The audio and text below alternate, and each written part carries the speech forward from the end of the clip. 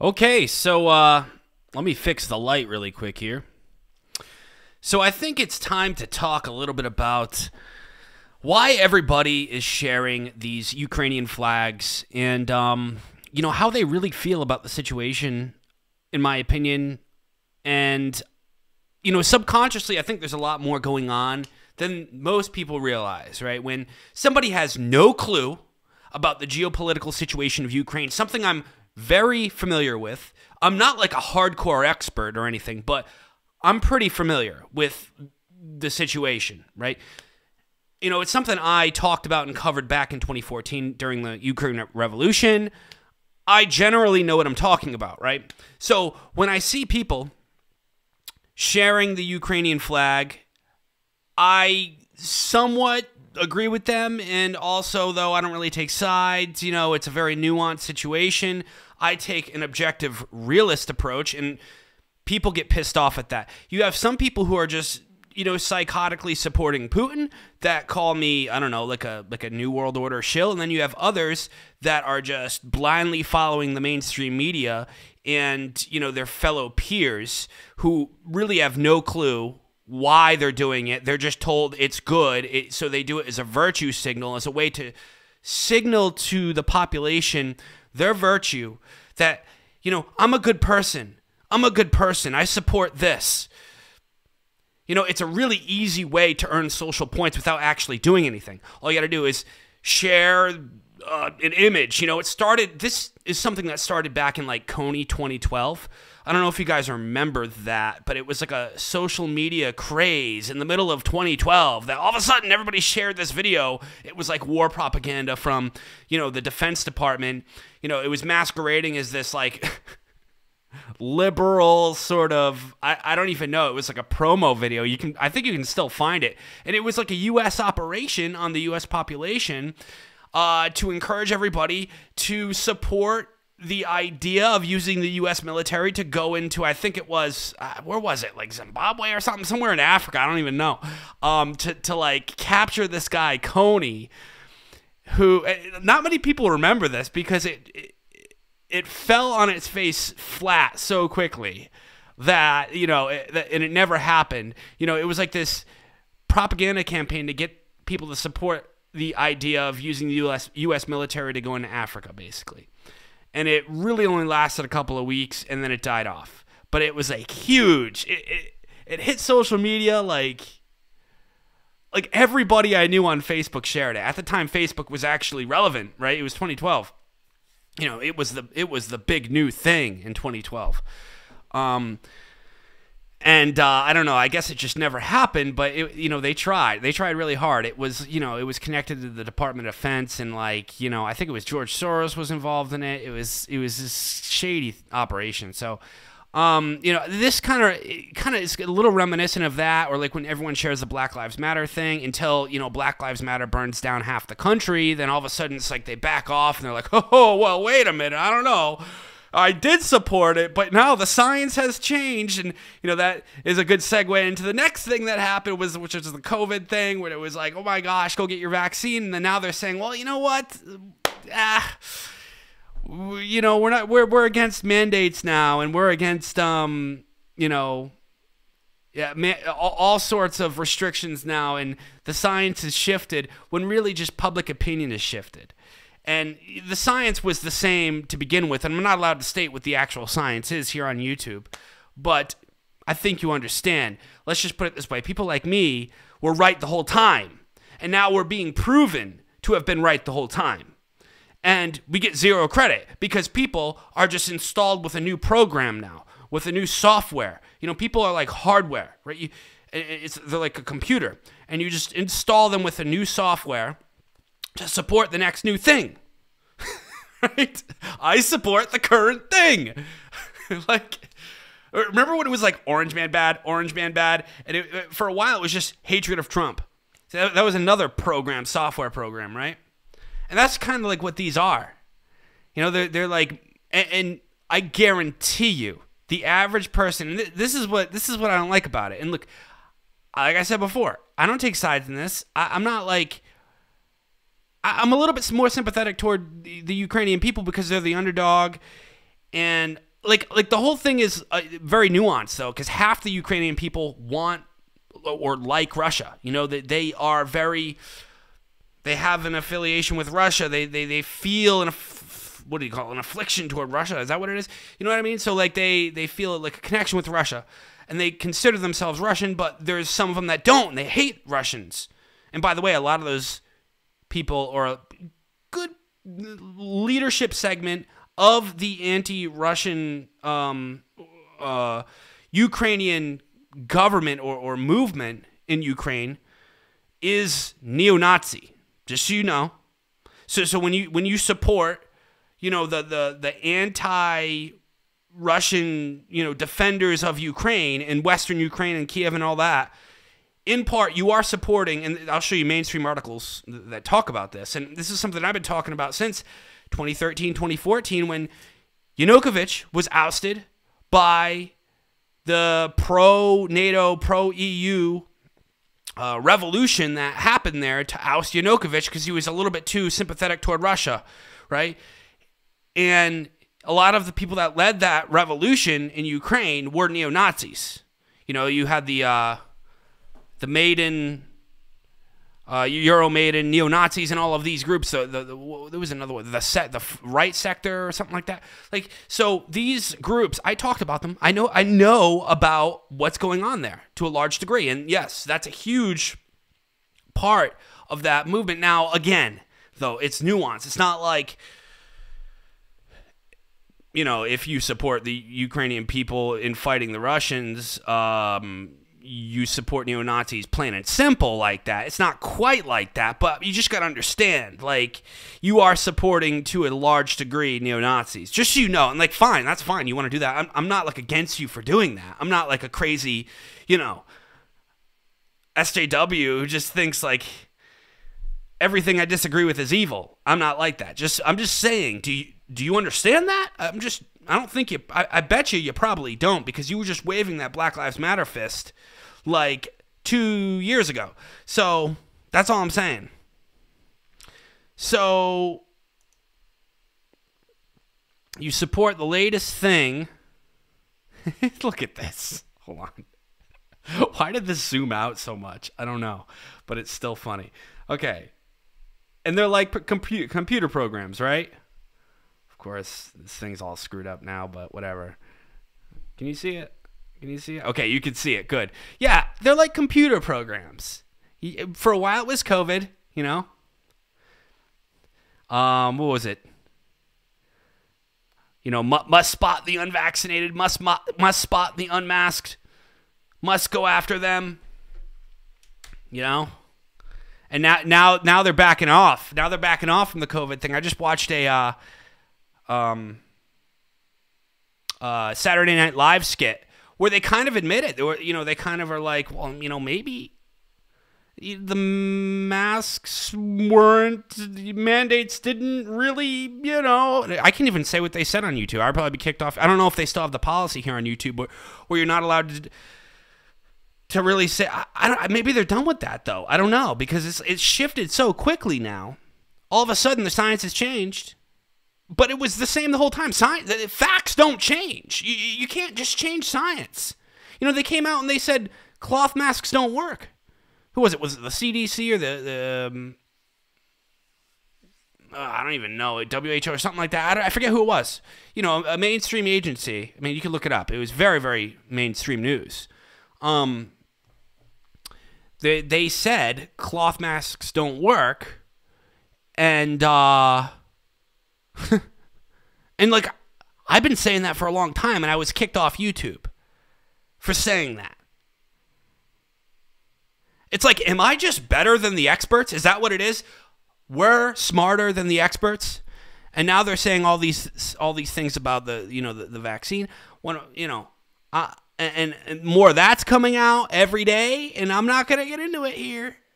That's all I'm gonna say. So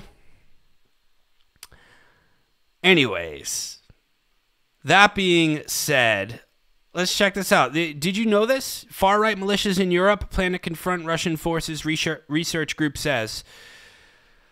Ah, oh, and you can read about this. Um, inside the neo Nazi Azov battalion. This is one of the main. And, and, like, I'm not against these guys per se. You know, they're fighting the Russians. I don't like how Russia, the Russians invaded Ukraine. I'm not a fan of that.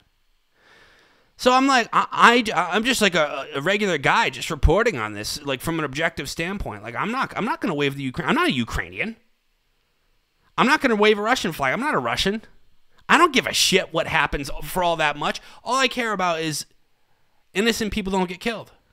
And I am kind of rooting for the underdog. I got to admit, like I'm just that's just I just like the idea of the underdog winning, right? And of course, the Ukrainian people that don't like the Russians are the underdog.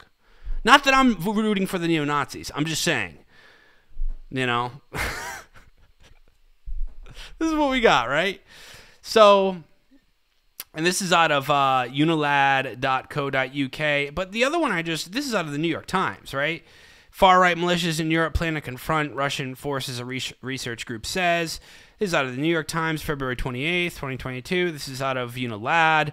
March 1st, 2022, a far right neo Nazi battalion has joined Ukrainian troops in their fight against invading Russian forces. Russian President Vladimir Putin's special military operation announcement continually referenced alleged neo Nazi elements in Ukraine, despite Ukrainian. Zelens- uh, President Zelensky, a Jewish politician, beating out a non-Jewish candidate for the presidency by a huge margin. That's true, and that's a, that's another nuance of the situation. Zelensky in many ways and you know this isn't very uncommon you know you got to understand a lot of these like i know people probably find this hard to believe but like if people have a, a common cause you know if people in ukraine especially western ukraine want a leader that is going to propel the russian influence both militaristically and propagandistically and you know, slowly join them into the EU and into NATO, and that's what they want, they're going to work with people who disagree with them. What makes you think neo Nazi groups who, who share similar interests as a Jewish guy who's the president wouldn't work with him? Like, a lot of these people aren't necessarily motivated by blind hate. They might be motivated by misinformation or different worldviews than you, but not necessarily blind hate, not all of them. That's what you gotta understand. Like, you know, this isn't a Marvel book movie, right? This isn't a, a Marvel com- comic book, okay? There isn't like necessarily, I do believe good and evil exists, but when it comes to geopolitical situations like this one, there's not necessarily a good and a, and a bad. You know, there isn't necessarily an, a good and evil here, or there's just different elements of good and evil, like sort of mishmashing together in this nuance. Um, concoction of, of different um, allegiances and different uh, desires and, all of this. So that's what you have going on. The article continues to say Putin cited the alleged genocide against millions of people living in the Donbass region and slammed NATO states for supporting extreme nationalists and neo Nazis in Ukraine, who in return will never forgive the Crimeans and the Sevastopol uh, residents for choosing re- reunification with Russia. I don't know how true that is. Um, they're saying that you know there was a genocide. Maybe I, I don't. I, again, like there's so much disinformation coming out of this. Oh, this would have been before even the invasion, I guess. But, um, but when it comes to the war there, especially, you know, you have so much disinfo, and I talked about that in my latest podcast, it's just it's the fog of war. You have both sides coming out saying completely different things, but the issue is what we're receiving as Westerners, what what we're seeing in terms of lies are mostly the pro EU sort of Ukrainian resistance lies coming from there because that's what our leaders and our corporate media supports. So they're willing to peddle lies toward their populations to further an agenda. And, you know, it's almost understandable. Like, I, understand, like, I'm not for lies, though, but I. I I don't necessarily think it's not as much of an evil as if you know they were lying to totally like rob us they're they're, they're more lying to to to boisterous boisterous support in in the Ukrainian people and to uh, encourage the Ukrainian people to fight. I think, and to encourage us to donate to them. And it is kind of it's very manipulative, but you know it's uh you know in war like i kind of get the idea of war propaganda. I'm a little bit less pissed off by it but i just don't like lies and i will expose the lies and i'll show you some of those in a second. Um here we go.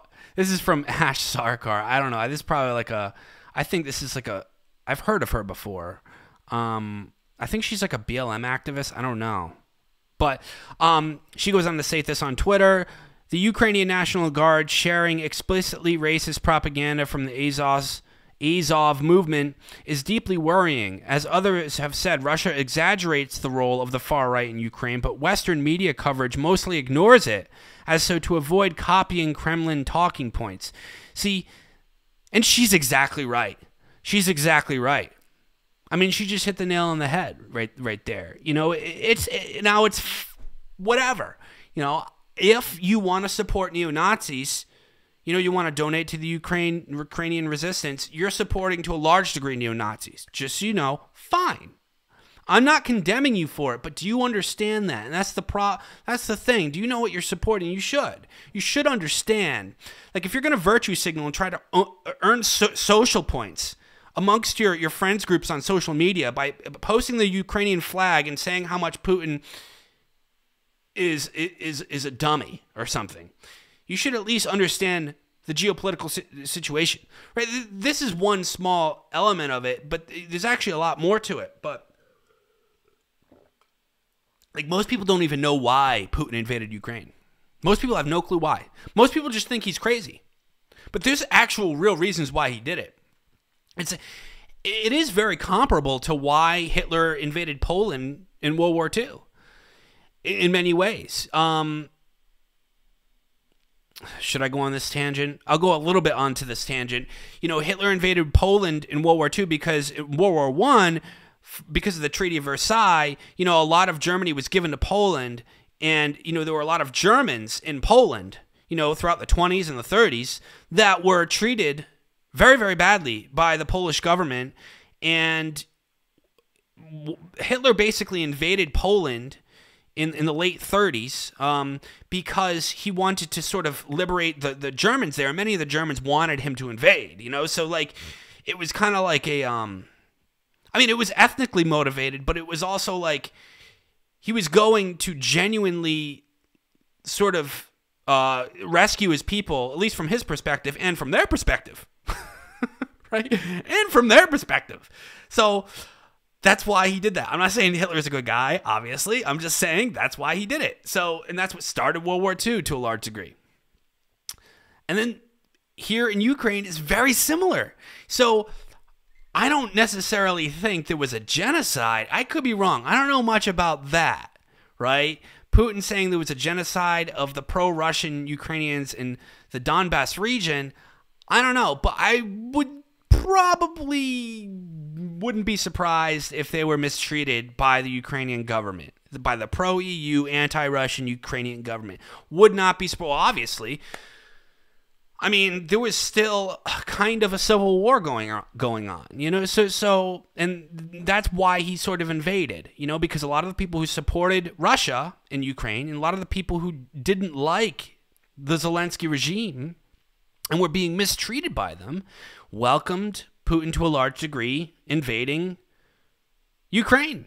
So so and it is regional though. So that's why I'm very surprised and I am opposed to Putin going further into the western regions where he isn't wanted.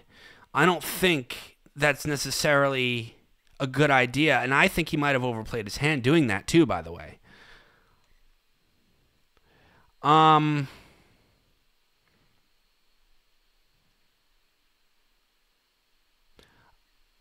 Did I already read this part? I don't even know. Oh, okay, maybe not. Okay, and the article goes on to state While the talk of Nazism in Ukraine is completely out of place, one analyst told DW footage emerged this week of Azov fighters greasing their bullets in pig fat, seemingly seemingly used to uh, to be against Muslim Chechens deployed as part of the Russian forces. These combatants who are uh, who are who are who put put are I cannot read today. I cannot read today. These combatants are who Putin was believed to be referencing in his phrase demilitarization and denazification of Ukraine. The Azov Battalion is a far right, all volunteer infantry military unit that allegedly supports white supremacist ideologies and has also been involved in training civilians to fight against invading troops. They first fought alongside Ukrainian soldiers against the pro separatist troops in 2014. Like I said, like I even talked about in 2014. I know what I'm talking about and have since been embedded in the military. Yeah, and again, and have since been embedded in the military. So when you are supporting the anti Russian regime and soldiers to a large degree, just so you know, which is fine, I'm cool with it. You want to support the neo Nazis in, in Ukraine? That's fine. I don't care, you know. Just understand what you're doing. That's all, you know. Don't be don't be a computer. Don't be an NPC. Don't be this guy. You know? Putin man bad, Putin man bad. That's all they know. That's all they know. Anyways, it goes on there. Yeah. So yeah. So um you also got to understand how this whole situation started. You know, in a nutshell, what it comes down to was after the collapse of the Soviet Union, um, Ukraine became its own country, uh, and Western leaders agreed that NATO would not expand eastward into Ukraine. Ukraine would not be joining NATO, and NATO agreed to not increase its territory eastward toward Russia because it's a major threat to Russia. When you have the world's nuclear powers surrounding you with missiles, that's a big deal, right? So, but essentially, what happened was there were some deals struck. Um, so one of them being the U.S. Ukraine Charter on Strategic Partnership in 2008, which emphasized the continued commitment of the United States to support enhanced engagement between NATO and Ukraine. So that violated previous charters. So in 1997, before that, what this was violating, and what uh, all these steps were taken that violated the original agreement to not have NATO NATO expand eastward. Again, that's a, that's a huge threat. So, so yeah, with all this going on, you know, people just need to understand, you know, and by the way, like I said before, some of these groups that are very anti Russian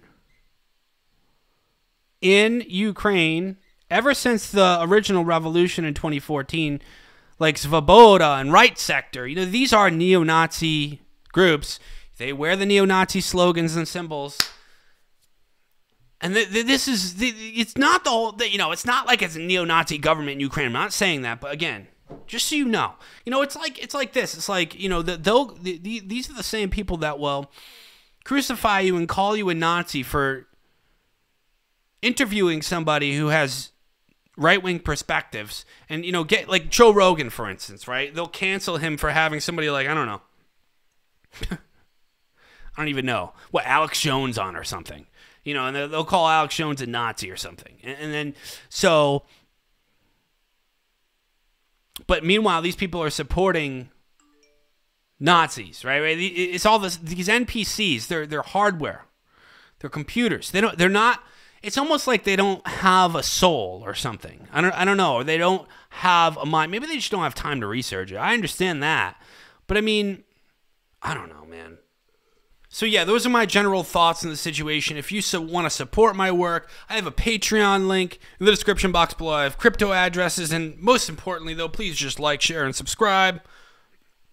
Give it a thumbs up. Give the video a thumbs up. Smash that like button, as they say. Literally punch it. Punch it in the face. And um, share the video.